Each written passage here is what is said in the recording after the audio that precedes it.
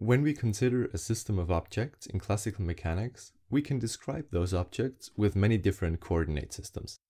Sometimes Cartesian coordinates are most useful, some other times we might choose cylindrical coordinates.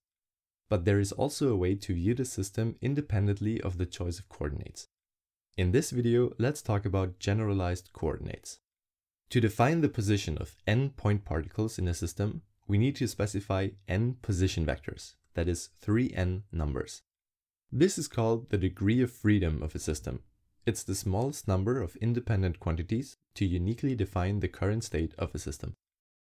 Let's consider this example. We have a block that can slide left and right and is connected to a spring.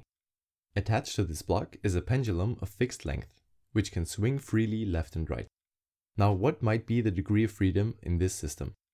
A naive ansatz would be to assign x and y coordinates to both the block and the pendulum, thus having 4 degrees of freedom. However, the block can never move up or down, so the y component here is not necessary. So we're down to 3 degrees of freedom. And what about the pendulum?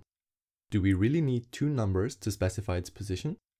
The answer is no, because at any given x position, the y position is uniquely determined since the length of the pendulum is fixed. In fact, it is probably more useful to use the angle of the pendulum as a coordinate. Now, general coordinates make no difference between positions or angles.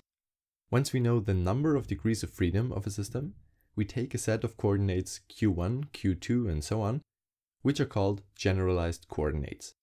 They are useful to talk about general systems of objects, but once we have a concrete example, we can map each generalized coordinate to a specific choice.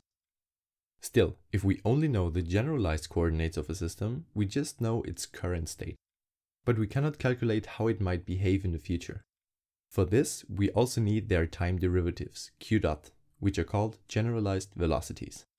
Once we know generalized coordinates and generalized velocities of a system, the generalized accelerations are uniquely defined. The relations between the generalized coordinates, velocities, and accelerations are called the equations of motion.